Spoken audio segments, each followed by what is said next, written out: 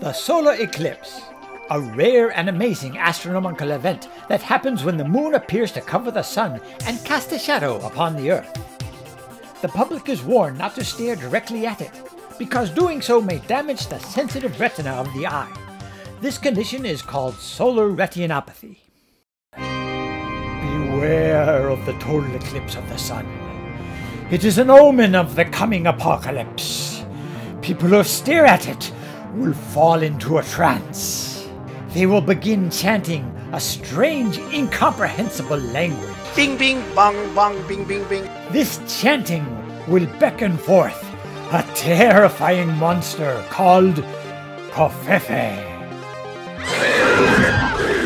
Fortunately, some of the people who looked at the sun will develop mutant superpowers and will hold the monster Covfefe off until the eclipse is over and the rays of the sun drive Covfefe back into the darkness from which it came. So, don't stare at the sun.